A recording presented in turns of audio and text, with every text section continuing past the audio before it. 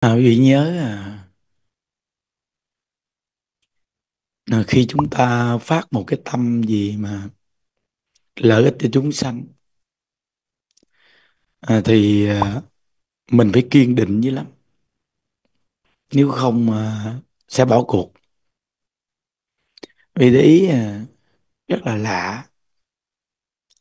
À, đúng ra cái mạng giờ này nó rất là khỏe nhưng mà giờ vô tu tự nhiên uh, rớt mạng và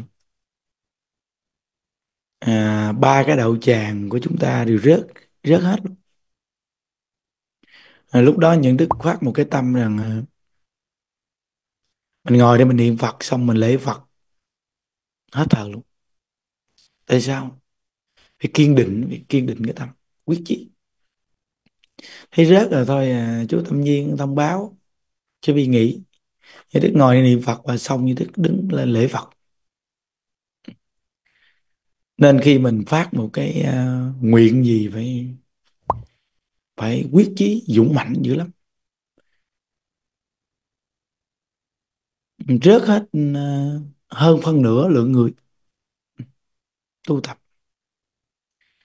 Thì biết rằng là chúng ta cảm ơn à, Đức Thích Ca Mâu Ni cảm ơn Đức Phật A Di Đà. À, à, các ngài đại từ đại bi phát lên cái nguyện độ chúng sanh. Thì coi à, cái cõi chúng ta đang sống đây sự khổ đau con người ai cũng phải gánh chịu. Giàu nghèo đẹp xấu gì có học hay thiếu học hay gì cũng phải khổ. Khổ không nói hết mà các ngài mở ra một con đường để cho chúng ta được giải thoát khổ đau. Mà đó là con người còn sống của mình khổ nghe. Còn nếu như những chúng sanh vô hình mà chết chưa siêu trong cảnh giới tam đồ thì khổ cỡ nào? Nên cái giờ tu 12 giờ khuya này là thì phải nhớ là người sống chúng ta bao nhiêu người tu đây chứ? Phần âm đã mắc rồi chưa siêu, tu cùng với mình không tưởng tượng được. Mà cái người chết mà chưa siêu thoát thì nhiều lắm nhiều lắm. Thì trong đó cũng có những người thật sự, người ta muốn tu tập để siêu thoát. Nên đại lão hòa thượng tịnh không ngài nói rằng là cảnh giới quỷ đạo trong u minh khổ đau nhiều không kể xiết nên mới nói rằng là dưới đất niệm Phật, trên không trung niệm Phật quá nhiều.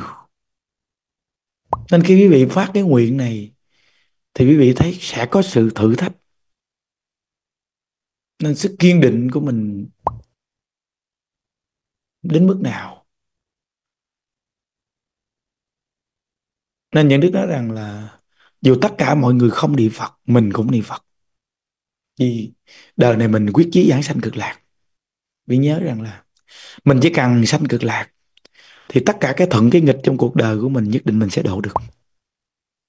Còn nếu đời này những đức không sanh cực lạc, thì những đức cùng với nhiều chúng sanh sẽ đi đọa tam độ. Vì người thương mình và người không thích mình cũng quá nhiều. Từ nơi đó muốn độ chúng sanh thì nhất định đời này phải sanh cực lạc từ hữu hình đến vô hình. Thì biết rằng là gia đình mình để cái tivi hay để chiếc điện thoại niệm Phật xuyên suốt 24 trên 24 không đơn giản. Đại lão ở thượng tịnh không thì nói rằng là lúc ở cư sĩ lâm, cảnh giới quỷ thần xin được bật niệm Phật 24 trên 24 cho người ta được tu chung. Vì trong cảnh giới u minh người ta quá khổ đau, cực kỳ khổ đau. Người ta muốn nương một cái pháp đi, được giải thoát. Nên Đức Phật A Di Đà ngày đại từ đại bi ngài nói rằng, chỉ cần một chúng sanh còn sống khổ đau, nghe được danh hiệu ngài mà chân thật niệm thì ngài cứu độ. Một chúng sanh đã chết rồi trong cảnh giới u minh khổ đau, hay những cô hồn vất vơ vất vưởng, hay tất cả những hương linh thai nhi chỉ cần nghe được bổn nguyện di đà mà chịu niệm danh hiệu của ngài thì ngài cứu độ. Đại lão và thượng tịnh không giảng đoạn này ngài nói rằng, cảnh giới u minh họ rất muốn giảng sanh, vì họ khổ hơn mình gấp trăm ngàn lần. Con người mình có những người sung sướng, họ sẽ không bao giờ muốn sanh cực lạc, vì họ sung sướng quá. Nhiều người khó khăn, khổ đau, cùng cực, có nhiều cái khổ nó thật sự muốn niệm Phật sanh cực lạc và muốn, và nhìn được cái khổ của mang tháng này nên giờ này mà vô đây tu tập để cầu sanh cực lạc, tin chắc một trăm phần trăm. Nếu như quý vị mà sống sung sướng, không nhìn thấy cái khổ gì, quý vị nhất định giờ này sẽ không vô tu đâu mà chúng ta chỉ có khổ một thôi. Khổ một thôi. Cảnh giới của quỷ thần trong u minh khổ đau gấp ngàn lần chúng ta. Gấp ngàn ngàn lần chúng ta từ nơi đó mà khi mình tu tập như vậy, thì họ nương tựa, họ tu. Quý vị biết rằng nếu như chúng ta có được thiên nhãn, chúng ta nhìn xung quanh chúng ta sẽ đầy dẫy cùng niệm Phật của chúng ta. Không đơn giản. Và cũng đầy dẫy cũng không thích niệm Phật. Muốn trở ngại. Nên từ nơi đó mà phải kiên định dữ lắm quý vị à. Phải phải như có nghĩa là mạnh mẽ và kiên định pháp môn tịnh độ này không đơn giản vì pháp môn này một đời sẽ siêu thoát tu một đời thành Phật nên tất cả chúng sanh chỉ cần nghe được bổn nguyện di đà và chân thật muốn giảng sanh thoát khổ thì chỉ có nương vào danh hiệu A Di Đà Phật. Ngài hứa rằng là Ngài sẽ tiếp dẫn mình. Ngài hứa là chỉ cần nghe danh hiệu Ngài mà chịu niệm muốn sanh Ngài tiếp dẫn. Nhất là cảnh giới của chư hương linh, cảnh giới quỷ thần, trong cảnh giới u minh khổ đau. Nó tại sao nhà Đức lấy 12 giờ khuya này có một thời tu này mỗi tuần thứ bảy và 14, 29 mỗi tháng. Vì mình tin chắc 100% giờ 12 giờ khuya là phản âm cực kỳ đông. Mong rằng những phần âm này giờ này sẽ đi vào cái tần số niệm Phật này. Và đường truyền trên không trung này có thể giúp cho họ đỡ khổ đau. Vì 10 công đức niệm Phật có một cái công đức, niệm Phật rằng là chúng sanh trong tam đồ nghe được danh hiệu Phật thì tức khắc dừng sự khổ đau. Còn nếu họ nghe mà họ chịu niệm, muốn sanh cực lạc, tức khắc vào A Di Đà phóng quang, tiếp dẫn họ sanh cực lạc. Cái công đức niệm Phật này lớn dữ lắm. Nên cái đường truyền trên không trung này, sự lợi ích không thể nghĩ bàn. Sự lợi ích không thể nghĩ bàn. Mà nhất là cái giờ 12 giờ khuya này. Cái tần số trên không trung. Bao nhiêu con người niệm Phật này, quý vị biết rằng cái tần số này. Chúng sanh trong những cảnh giới khổ đau họ sẽ nhờ cái công đức niệm Phật này mà giúp cho họ đỡ khổ đau nhiều lắm. Và thêm thắng bằng quyến thuộc của mình, ông bà, cha, mẹ, tổ tiên của mình chưa siêu thoát. Và nhiều người cũng mang nghiệp phá thai, hương linh thai nhi cực kỳ khổ đau. Nên niệm Phật một câu phước sanh vô lượng, lễ Phật một lễ, tội diệt hà sa mà. Chúng ta chân thật phát cái tâm này. Nên nãy khi mà mạng nó đứng, mình đứng ba cái mạng luôn đó quý vị đứng lại luôn. Và vô cỡ nào vô cũng không được luôn. Tự nhiên mạng dừng lại hoàn toàn luôn đó quý vị. Chịu gần hai chục phút. Hai chục phút. Hai chục phút mạng dừng lại hết. Không đơn giản. Không? Phải phải kiên nhẫn, phải quyết tâm lắm. Ngồi đây niệm phật luôn. Xong ngồi niệm phật hai phút, xong đứng lên lễ phật luôn. Quyết chí rồi mà. Giờ đem cái mạng cái mạng cái mạng si cù que, mạng cùi này ra. Để mà quyết chí giảng sanh cực lạc. Phải quyết tâm như vậy đó quý vị nhưng đức mong rằng những bạn sen này nè, đang ngồi đây nè, và những người nghe qua công đạo này, được thân người khó được, gặp Phật pháp khó gặp, tịnh độ càng khó gặp. Gặp thiện trí thức, nhiệt tình tu tập, hướng dẫn mình càng khó hơn, nhất là trong thời cuộc này. Thời cuộc này nói cái chuyện niệm Phật tu hành giải thoát, giống như người ta nói mình là cái người gì, nói cái chuyện xa vời, nhưng chúng ta tin, chúng ta tin rằng bám chắc câu vật hiệu này, đời này sẽ giải thoát trước nhất là chúng ta đã có lòng tin này nên giờ này mới thức gì nè. Ngồi đây nè. Mà giờ này con mắt sáng quắc không ai buồn ngủ hết chứ, không đơn giản. Mắt chớp chớp chớp chớp chớp chớp. Tỉnh veo. Khi mà 12 giờ khuya này nó tu xong này nó không ngủ. Cả đêm không ngủ một chút nào luôn quý vị. Sáng mai tiếp tục. 4 giờ tu nữa. Tại vì sao? Vì muốn giảng sanh. Cái thằng này mấy chục năm rồi chết, rồi xong việc cuộc đời. Nhưng mà chúng ta đi về đâu? Nên bây giờ phải tích lũy phước duyên, tạo cái mà mình cầm theo được. Không có khổ, không có cực. Phải dùng cái thân giả này bắt nó phải làm. Làm cái gì? Niệm phật sanh cực lạc. Nó phải phát tâm cho nó mạnh mẽ, dũng mạnh tinh tấn. Phải siêng năng niệm phật không được giải đại. Không được buồn giận ai để trong tâm. Vì mình buồn giận chúng sanh, làm mình làm cho chúng sanh khổ thêm. Mình buồn giận họ, mình hận thù họ, làm cho họ khổ thêm ông bà tổ tiên mình khổ thêm. Chúng sanh vô hình, không có chỗ nương tựa. Mình phát cái tâm cầu sanh cực lạc thôi. Mình để niệm phật xuyên suốt nơi mình ở. Có cái tivi bật xuyên suốt luôn. Bây giờ là ngay chỗ này để tivi xuyên suốt. 24 ngày 24 niệm hoài. Chừng nào tivi cháy, mua tivi khác. Nghĩa là phát tâm gì đây tại vì sao? Để 24 trên 24 luôn. Chứ khi mà mình ngủ rồi chúng sanh cảnh giới quỷ thần đến đây để tu tập. Có khi những người chúng ta không có duyên với chúng sanh ở cõi thế gian này, không độ được ai. Nhưng khi quý vị đã phát tâm như vậy là quý vị có duyên với quỷ. Có nhiều người nói câu, chàng ơi, cảnh giới quỷ đạo đến nhà con nhiều quá, ghê quá vậy rồi sao đây? Không sao. Họ đến sẽ hộ pháp cho quý vị. Không ai nghĩ đến họ hết không ai thương họ. Ta nghĩ họ là ác. Nên cuối cùng cái tâm đó, họ giữ dằn lên luôn. Quý vị lại thương họ, nên họ sẽ ở gia đình vì vị, hộ trì cho quý vị. Quý vị đi đâu họ sẽ đi theo. Hộ trì bị suốt luôn. Vì đừng sợ. Bây giờ nơi nào như nước ở là nơi đó chắc là đầy luôn á. Nhưng mà người ta cùng tu với mình. Còn người không tu sao mà ở?